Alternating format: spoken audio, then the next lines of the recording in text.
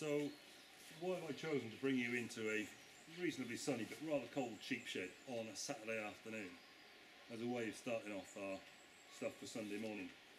Um, really, because I wanted to show you one of these. Uh, this is the uh, the front off uh, a sheep pen we use at lambing time in this shed, and uh, we'd rather not ever have to use it, but sometimes we do. Better if we didn't, but we do. Uh, we use it when there's been a, a big problem of some sort or another with a ewe or a lamb. And uh, what we do when there's a, a ewe that hasn't got any milk for its lamb to save the lamb's life, we might find another ewe that perhaps hasn't had a lamb or something's gone wrong, maybe she's lost a lamb. And uh, we put the we put the ewe in here. And there's a reason for that. We uh, we want to keep the, the little lamb that's viable, and uh, the ewe has milk. And that ewe, which perhaps isn't raising a lamb of its own, or could take another one because you've got a lot of milk and only one lamb, uh, she's going to save the life.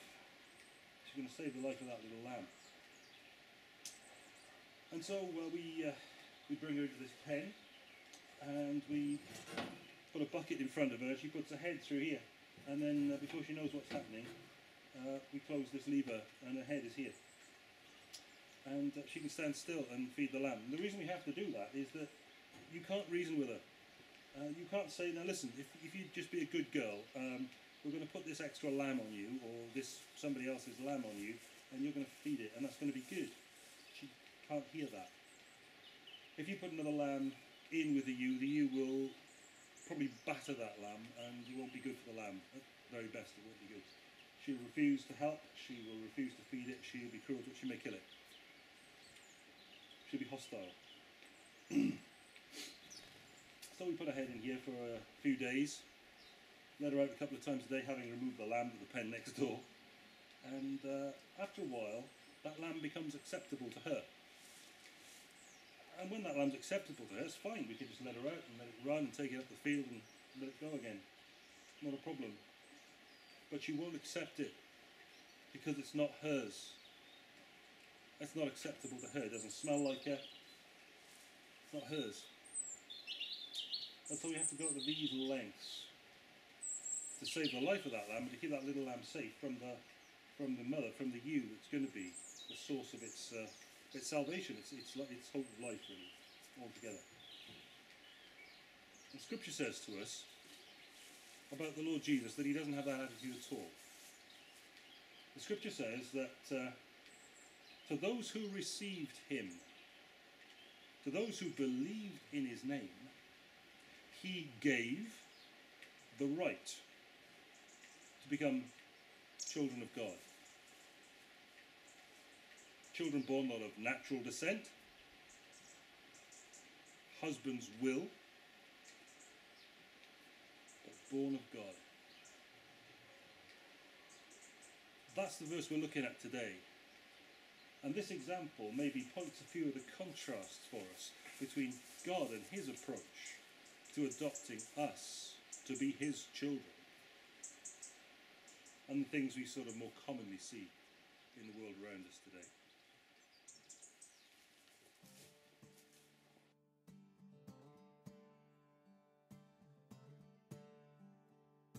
I have seen the eyes of hunger, and I have seen the face of thirst,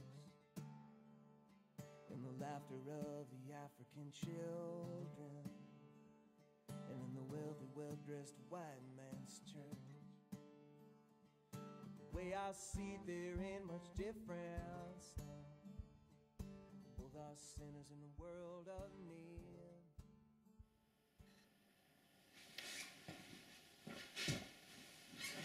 So the big word of the day today is adoption.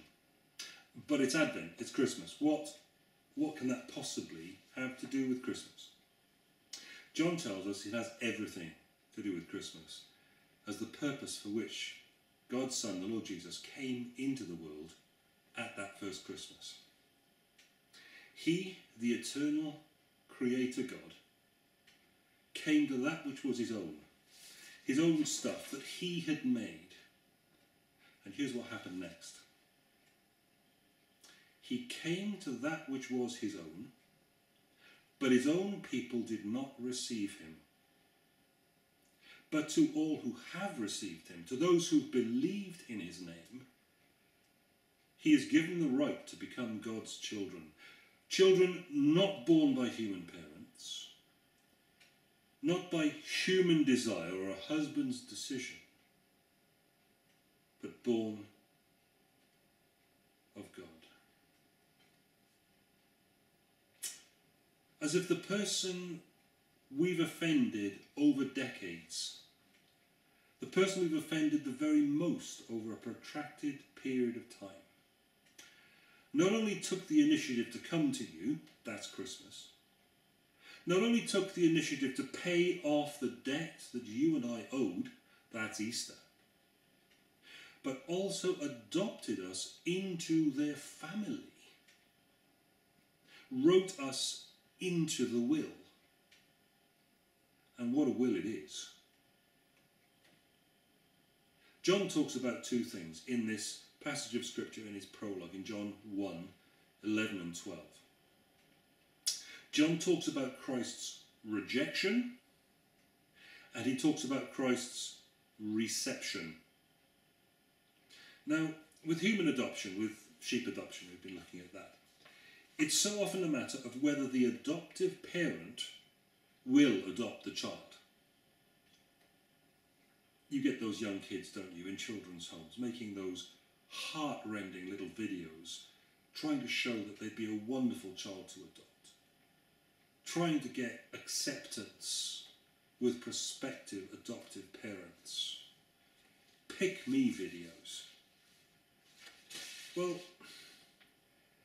that's not the way it is with God. It's the other way round. The boot is on completely the other foot. It is we, those who need family, who have first of all rejected Him. Firstly, then, John deals with rejection. He, that is the Lord Jesus, the eternal Creator God, as we've seen in, the, in what goes before in John's Gospel, he was rejected by his own. His own. His own property, his own home, that neuter noun there, Eista uh, idia. He came to that which was his own. It can refer to your own possessions, to your home, to your homeland, as it does in Thucydides. But this fuller expression, eis ta idia, always, both in the Septuagint, that's the Greek translation of the Old Testament, and also in the New Testament, means to one's homeland. His homeland is what? Rejected him. He came to that which was his own. But his own people did not receive him. Subtle irony here. When the Logos, the Word, came into the world, he came to his own, ta idia, and his own people, hoi idioi, who should above all others have known and received him, they did not. The prophet, you see, was utterly without honour in his own country, amongst his own people.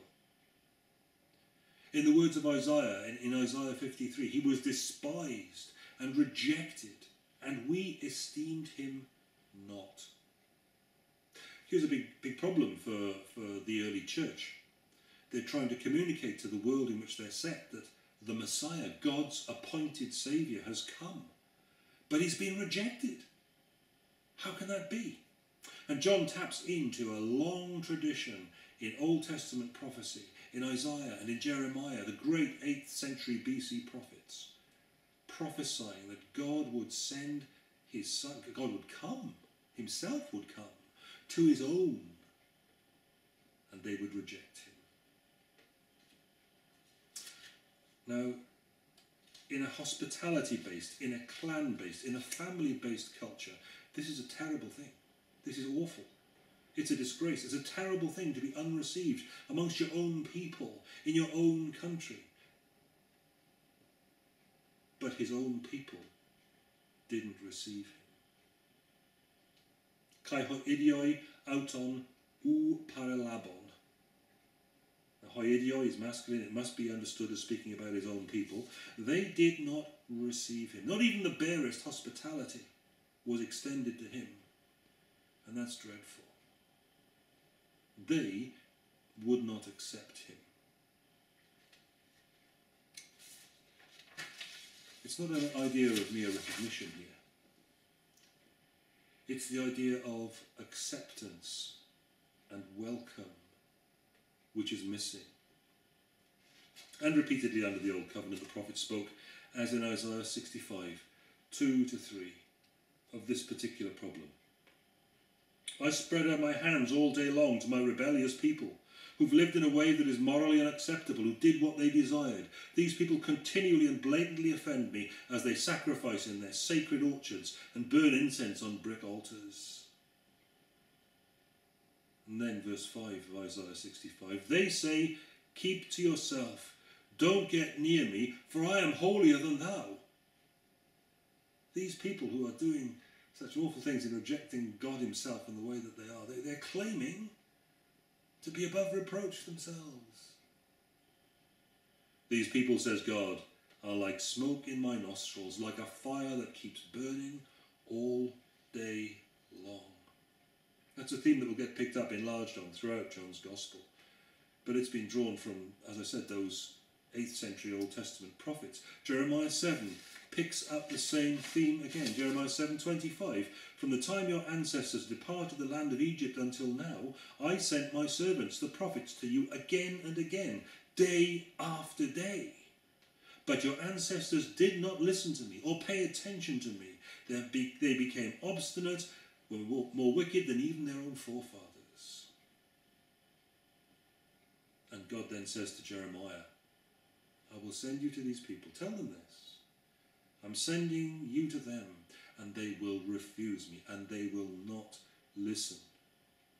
They've not accepted correction.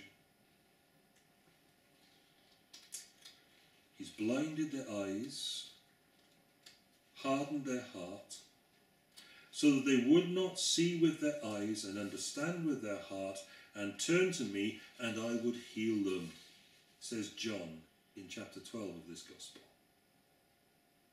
Isaiah, John goes on, said these things because he saw Christ's glory and spoke about him. These people hardened their hearts. They entrenched within their own personalities their rejection of God. And the rejection of God sets like concrete to the point where you're unable undo it. A judicial hardening takes place. Like that in the days of the exile, the diaspora spoken about by the Old Testament prophets. Such a time has come upon the land, says John. But there is a remnant by grace. He came to that which was his own. His own would not receive him. But against that background of those whose rejection of God is set like concrete, in verse 12, John goes on to talk about reception. He's talked about rejection, it's a terrible prospect. Then he goes on to talk about reception in verse 12. But to all who received him, those who believed in his name, he has given the right to become God's children. John's emphasis is so much more positive than Jeremiah's, isn't it? Jeremiah was called to hold out truth to a people who would be recalcitrant, determined in their rejection. But John is written expressly, chapter 20 of John tells us, written expressly so that you might believe, and that by believing you might have life in his name. And yet, the coming of the king to his kingdom also entails a judicial, prophetic hardening of those who would despise and reject him. But to all who've received him, those who believed in his name, he has given the right to become God's children. Many people have pointed out that his own did not receive him. It works pretty well as a working title for the first 12 chapters of John's Gospel it's about those who did not receive him, those first 12 chapters, but then from chapter 13 to 21, you could equally put over that the heading, but to all who have received him, who believed in his name, he gave the right to become children of God. Again, the prologue to John is like the preface telling you what's coming in the rest of the book. That's just an interesting little thing. To all who have received him, who believed in his name. Hossa de elabon auton. elabon is a definite act in past time, it's a perfect tense. A definite act in past time with abiding, with continuing results. Something happened at a point. These people believed in his name. They put their faith in Christ. Deliberate past time event. Those who received him, and they're to be understood as those who believe in his name. First of all, two things receiving him and who. It's crucial in John's Gospel that when the eternal Creator Son comes, that we should have received him as such. It's crucial to salvation. This is the criterion for having or not having eternal life throughout John. To have received him. Have you, by deliberate, determinate act, a definite act in past time, with abiding and continuing results for the way that the rest of your life has gone, have you received him? Because that's the criterion for having life from this Jesus. Have you received him? How do I know whether I've received him? How will I how can I answer a question like that? It seems almost presumptuous in some people's way of thinking. Well, John tells you, so you need presume no more. How do I know that I've received him? Well, another way of describing those who've received him, the eternal divine word, is to say, says John, that they have believed in his name. Now, that's not a simple mental assent.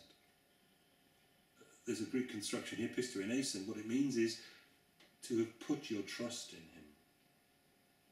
To have taken your little life, such as it is, and to have trusted God with it. Put it in his hands. To live it out as he leads and guides. To do as he directs. Entrusted to him. It's the opposite of self reliance.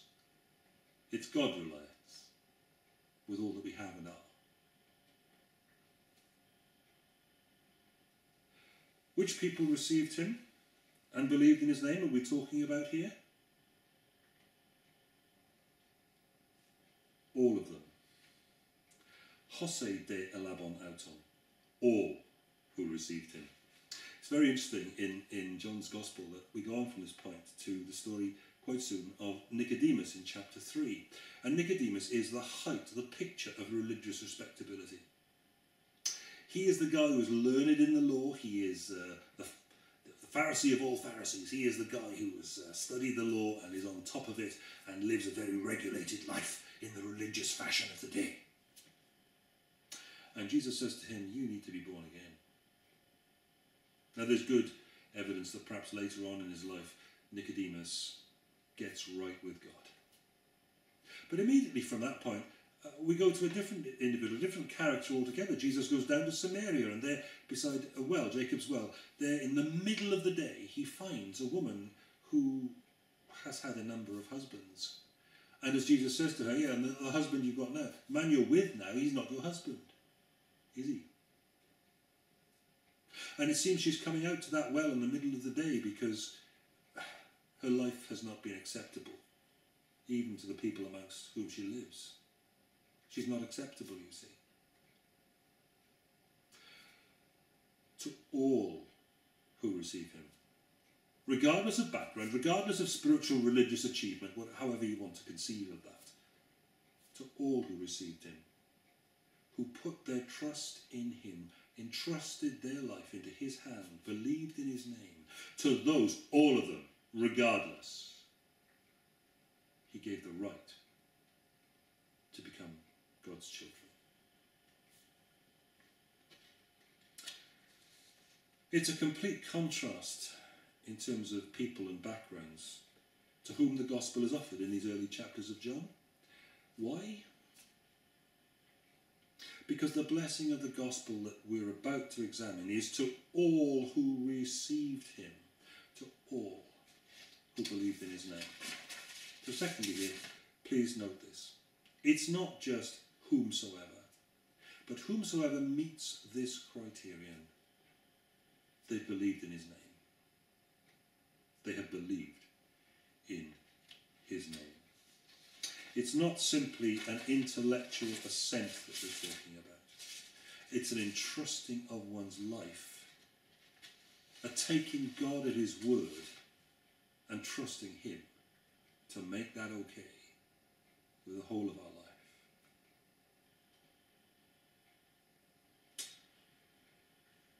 Well, then, to those who entrusted themselves to him, put their trust in him, he gave. He gave the right to become God's children. The right. Not having to go on trying to win acceptance and favour, but the right has been given to become God's children. This is no grudging thing. This is no some paper adoption. The right to sonship, a place in the family, is conveyed. What John says here is huge. How can this come about? It's an obvious question, one that, uh, well, trips up the learned theologian Nicodemus, as we've already seen in John chapter 3. Jesus turns to him and he says, Nicodemus, there's no hope for you unless you're going to become born again as a child of God. Unless you're going to lay aside your self reliance and your religious works and your legal obligations and, and, and trying to win acceptance. You need to be born again. All over. The way Jeremiah spoke about God in the future time, as far as Jeremiah was concerned, giving his people a new heart, taking away their heart of stone that had been hardened in rejection against God, and giving them a heart of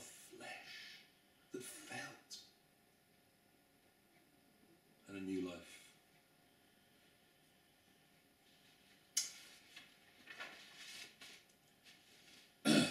God's children.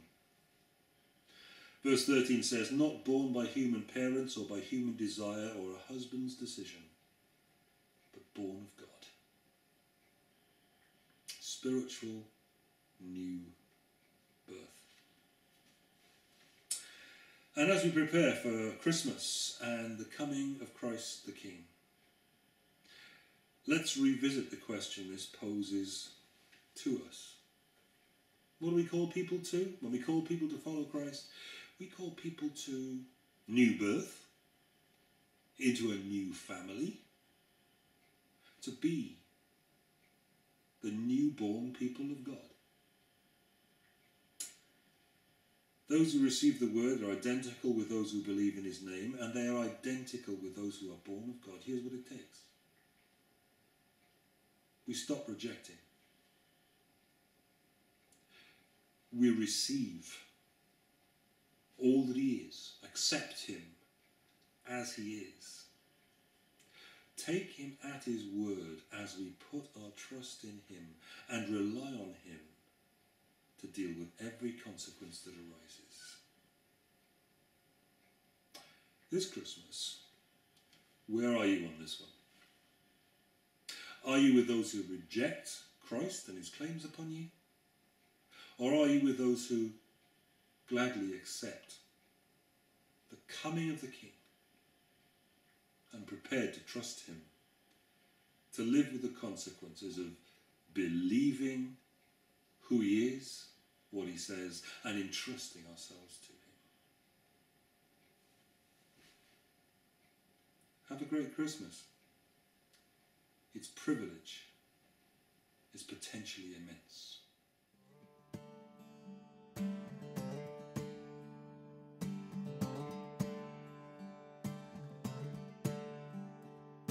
I have seen the eyes of and I have seen the face of